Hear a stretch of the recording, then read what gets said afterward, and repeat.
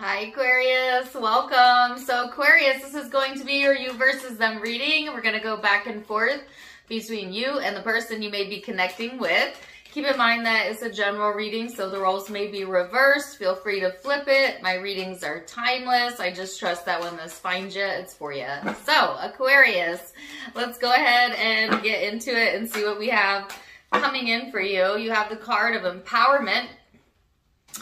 So I love this as the crowning energy because this is talking about um, combining your strengths, right? Feeling in your power, getting into a space of empowerment. It also talks about um, activating a different part of you, Aquarius. Sometimes um, this card can also talk about overwhelmment. So be careful that you're not putting too much on your plate here. But this is a strong vibe to start with, which is funny because as I have cards come out, I was getting a song and I don't know who sings it. I just know the hook is Bebe Rexha. She says, I don't need anything. I don't need anything to make me feel like except this beat inside my heart.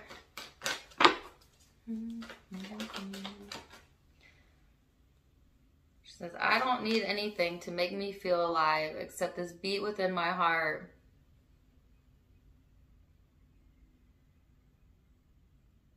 Oh, I can't think of the next part, but I'm sure somebody will know it. But anyways, um, check that song out. It may resonate with you. And or um, you may actually randomly hear that song. So, all right. So you have the Ace of Wands, the Nine of Pentacles here for you, Aquarius. This is talking about having clarity, victory, um, finally feeling comfortable in your own skin or with, where you're at in your life.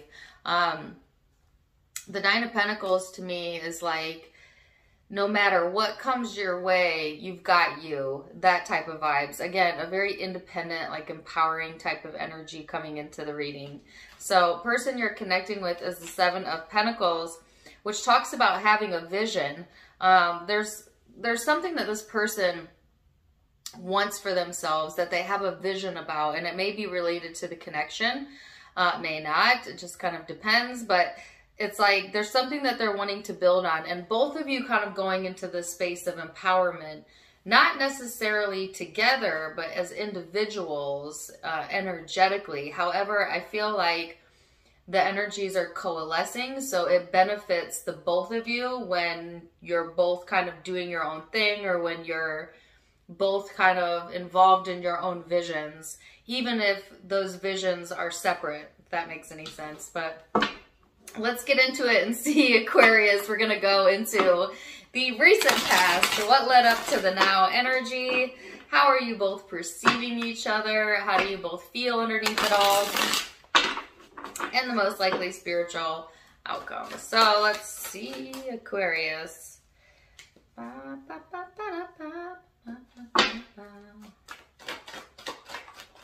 And it makes me feel alive. That's what she says some part in the song. Anyways. All right, so you have Justice here.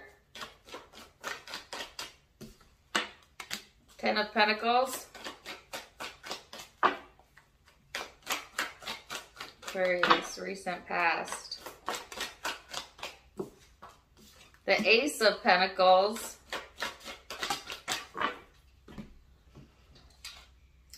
And the Knight of Swords. So Aquarius, leading up into the now, there might have been a balancing act going on um, in your life, um, just in general. Some of you to deal with finances or the home structure, but could also be in commitments. It's just a sense of like trying to find balance between like what you desire and what you currently have going on in your life, like prior obligations, and needing to reprioritize in that arena as well. But I feel like this great sense of stability coming in for you, Aquarius, and this huge opportunity for you to capitalize on whatever you have coming in in your next chapter. And I'm not just talking about relationships, although some of you, yes, a form of commitment or relationship is coming through.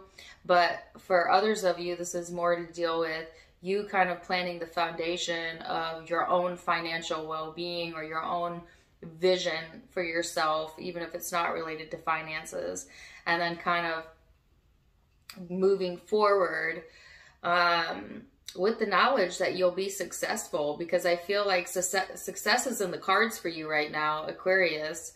Um, there could be new communication coming in as well around uh, your foundation, home, real estate, finances, career, things of that nature. And I know this is a relationship reading, right? But I can only tell you what the cards are saying. Some of you, your mind has been more geared towards that area than this connection or than the relationship.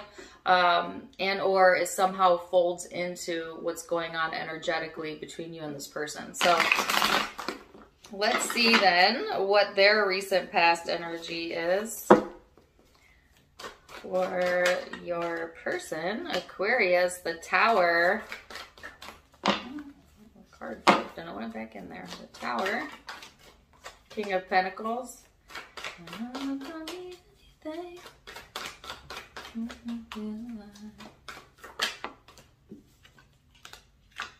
This beat that's in my heart, yeah, it's keeping me alive. That's what she says. Goodness gracious. um, King of Swords, Nine of Swords. So Aquarius, this person is going through, they've been contemplating a lot of changes, all right, um, that actually require them to change as almost a person, as an energetic person. See, because I feel like this person kind of got comfortable with where they were at and who they were with or what they were doing. But in the back of their mind, there was a calling towards something new, something different, a big change, right? So I feel like this person has sat on this long enough, thought about this long enough that it created a vision for them in their mind as to what they wanted to go towards in their future. And I feel like this person has manifested that or is in the process of manifesting that. Is this is past energy, right? So they're giving me the song Don't Worry About a Thing. I don't know if there was a lot of worry around the connection or maybe this person was worrying about if their manifestation was going to come true. But I feel like there's a vision here that this person has had for themselves that is ready to be realized and ripen the energy. So let's go deeper and see how you are perceiving each other in the now moment. Let's pull it to the present moment. I don't mean to keep singing that song. it's, stuck on replay in my head. All right, uh, Eight of Pentacles, the Magician.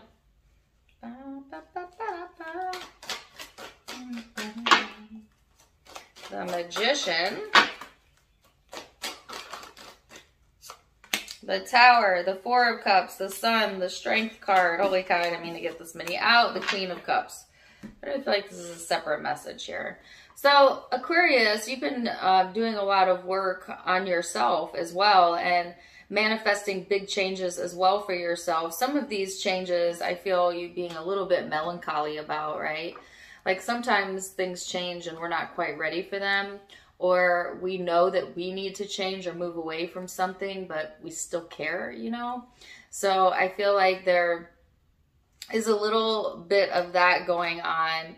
But at the same time, you know, it's taken you a lot of strength to move towards your own happiness because change is hard, especially for a fixed sign like us, Aquarius.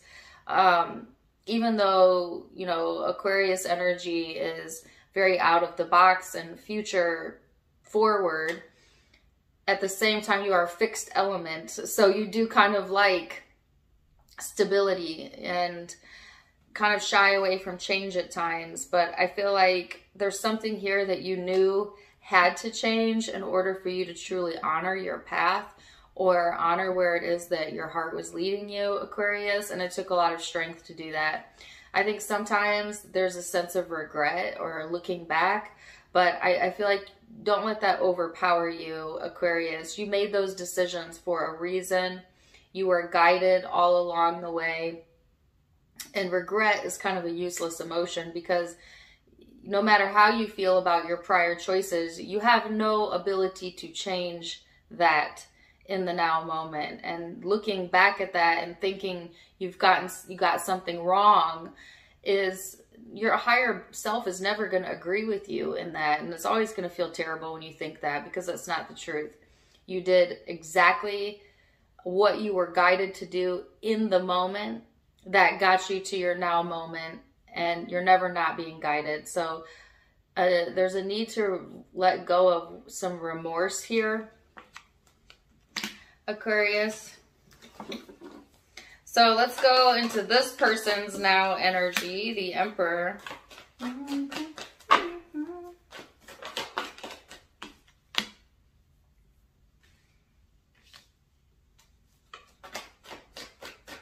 The Emperor, the Four of Cups. the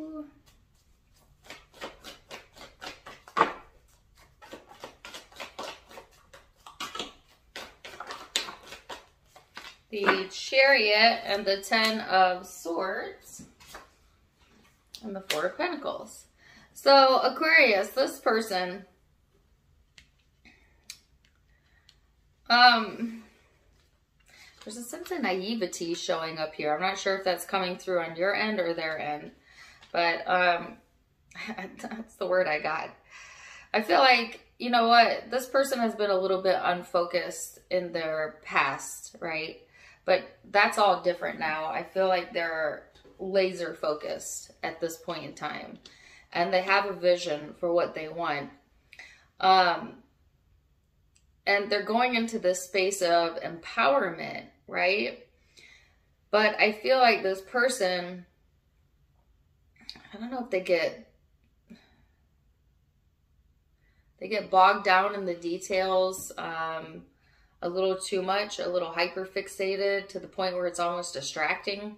Um, yeah, there's some need to clear out some of their mental space uh, right now, but they are looking to move forward. I feel like this person has maybe withheld some things, you know, waiting for the right timing or waiting for things to kind of fall in place. But they've thought long and hard about this Aquarius and what they want to manifest, and they have a vision about it, and they are ultimately going to decide to kind of clear the slate and move forward here. And I feel like that's what's coming through next for this person. So let's go deeper into the emotional space then.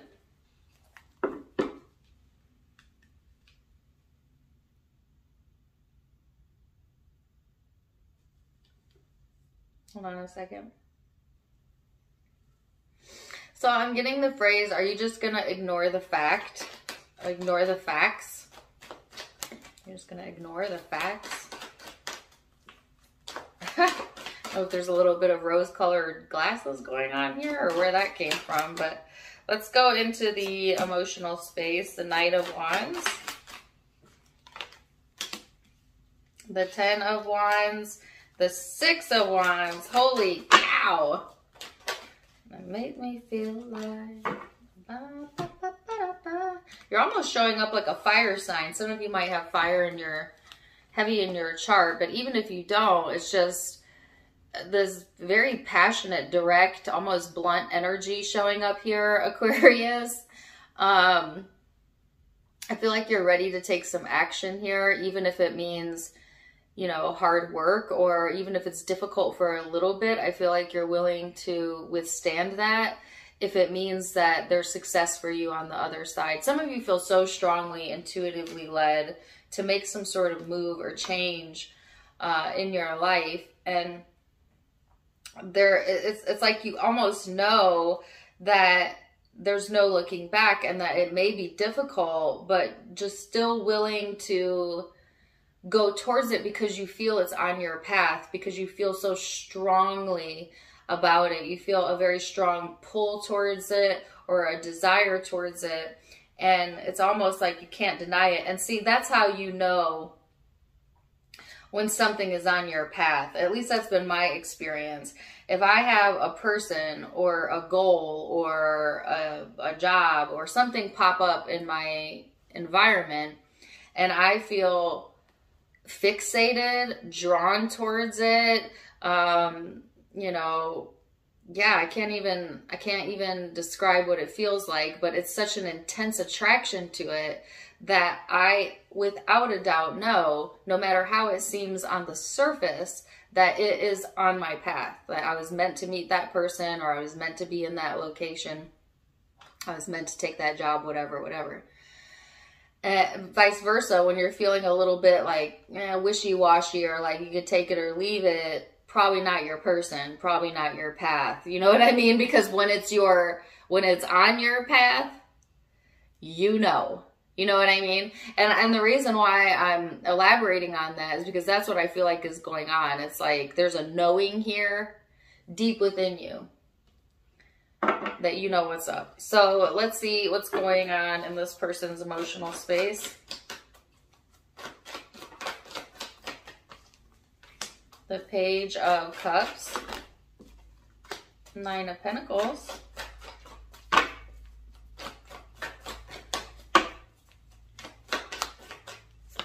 Ace of Pentacles,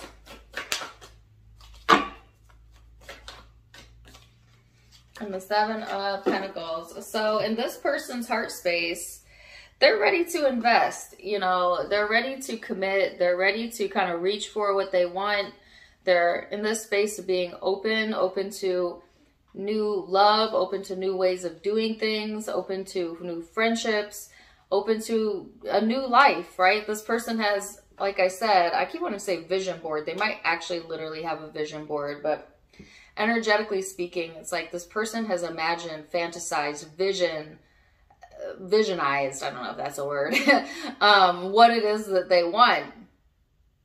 And there was a little bit of withholding here, but not, but, but not only because of timing or something like that. And, but in their heart space, it's like they're ready. Okay. So this person is ready to kind of reach for what it is that they want. And not only that, they're willing to commit and to invest themselves into whatever this is. So let's go into the future energy and see what's going on. Most likely future outcomes for my Aquarius. Excuse me. a little bit of a yawn there. Five of Wands. Page of Wands.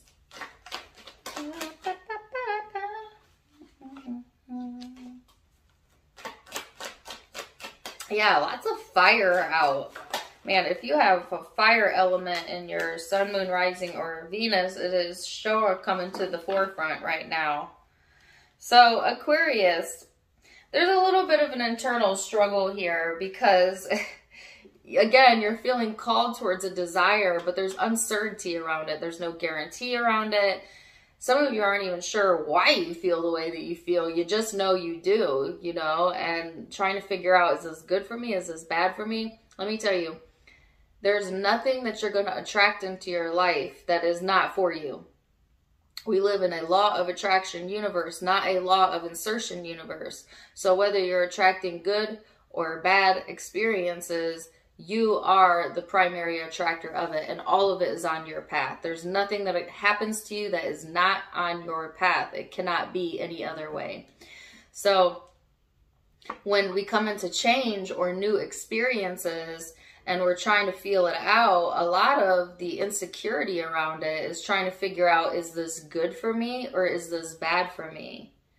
And spirit is saying, it's for you, period you decide if it becomes good or bad, right? Because in the early stages of anything new manifesting, there's opportunity for it to go either way or be a mixed bag. And what determines that? How you choose to focus and how you choose to feel about what you manifested, right? So there's like this evaluation period here where you may be going back and forth trying to decide like, is this good for me? You know, is this something I want? And I feel like Aquarius, some of you, it's like should I go with my passions or should I go with my heart? And and spirit is saying it's all right to ask yourself these questions, but there is a way for you to have passion and your heart on board that you do not need to choose here. What else? Yeah, the hermit. So there's like some self-reflection needed around the situation before you make any judgments. Uh, there is, ooh, what is this?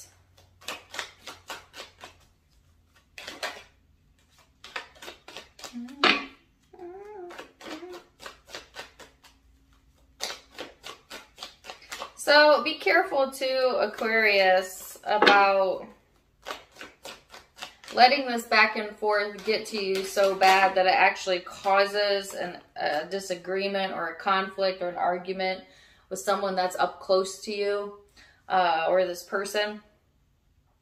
Like, I mean, there's growth and development in it. I'm not even sure you can avoid this because there's all kinds of weirdness going on with retrogrades and eclipses and stuff. but it's like, um, listen to your intuition before you act on anything because some of you, it's almost like you kind of have your guard up a little bit. Um, there is like, there's something here that has the potential to develop both with what you're passionate about, but also with what or who you love. But there's also a potential of it not going well or you getting hurt. So they want me to bring it back to the initial message. Well, what decides which outcome is going to be most likely for me? And Spirit wants to remind you that you are the ultimate decider. And how are you deciding? By how you choose to perceive it, by how you choose to think about it, and about how you choose to feel. If you're perceiving a person and you're seeing all of their potential problems as opposed to the reasons why you love them, you will call forth to you the shadow part of them. And vice versa, if you're focused on all the reasons why you love them and not all of the problems, then you call forth to you their light side. We we call forth to us the part of people that we are a match to based on how we perceive them and what we think about them. I, hope I'm not like going too deep into this, but I want you to understand that that's really what determines the outcome. It's not written in stone and unchangeable. You're writing the story right now with the way that you're thinking and feeling about it. But there is divine timing here. There's a lesson here in empowerment and independence and and at the same time softness. So really interesting message. Let's see what this person's most likely future outcome is.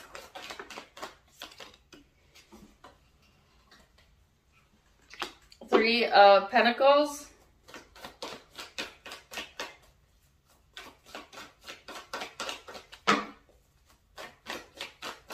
Queen of Pentacles. Four of Wands and the Queen of Swords, the lovers at the bottom of the deck. So this person is in the space of wanting to see things come together and to shed some light also on their own experiences. Like, I, I feel like this person has thought a lot about where they want to invest their time and energy, what they're worth, um, their value, and is looking for like like-minded people, people that they can connect with, people they can network with. Um, they're in this very like social energy and maybe wanting to get out there a little bit more Aquarius or if you're in a relationship, maybe take you out, all right? Um, I feel like this person is looking for a reason to celebrate and they're going to find one. And I feel also a lot of love coming from this person's side, them feeling lucky in love and it's like they feel lucky and they're in love or when they're in love they feel lucky. Maybe they feel lucky to have loved you or to love you aquarius. Um, but i just feel like this person's luck is changing because something that they once worried about or fixated on in the past has now become active in their energy and it's a vision they have and they're getting ready to go towards that and become more available and receptive because of the work they've done on themselves because they're in a space of empowerment. And it's like because they feel lucky they become lucky or you know like the quickest way to call in love to ourselves is to fall in love with our life as it currently is or fall in love with self. Because anytime you can generate that emotional response of being in love you call it to you. And i feel like that's something that's happened here between the two of you or you know individually it doesn't matter. But uh, you know that's kind of what the gist of it is. So wow aquarius let's get a guidance card out then. Ooh guidance card. Your person has the card of Seek. And you have Dream Talk. This says, the power of spirit exists in all things. Everything is made of energy. Every single thing in the physical world contains a fragment of spirit, including you. We are all one and we are all connected. So there's a reminder that there's nobody in your experience that you are not somehow connected to. And that reminder is not just for you, it is for the cross watcher. For you, Aquarius, they're saying to pay attention to your dreams. They may be subtly speaking to you or providing you signs. I personally keep a dream journal and sometimes the craziest dreams actually end up making sense later. So never scoff them off. scoff, I made a rhyme. Uh, never scoff at your own dreams, no matter how ridiculous they are. Write them down and they may make sense later. So Aquarius, I'm going to leave it there for now. Zodiac signs you might be connecting with or having your own chart. I've got Virgo here. Uh, Aries, Pisces, um, Cancerian energy, Aries again, Scorpio, uh, Leo, and Libra. Those are the primary signs I'm seeing. But keep in mind, it is a general reading, so take what resonates, leave what doesn't. If it did resonate, please do let me know in the comments down below. Also, don't forget to give me a like, share, and subscribe if you haven't yet. You can find me on Facebook and Instagram for more fun stuff as I do have videos and content over there. Come join me over there, please, please, please. All of it linked in the description box below. Tarot Time with Dana is the name of all my social media links. Otherwise, I'm wishing you the very best, Aquarius. And until next time, my friends. Namaste.